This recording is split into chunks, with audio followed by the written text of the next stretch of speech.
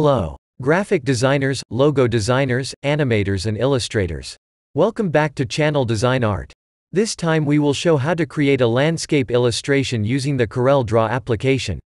Before starting this video, it would be nice if you subscribe to this channel first and turn on the notification bell button so that you are always up to date with the next uploaded video. Go straight to the video. Don't forget to like and comment in this video. Please enjoy.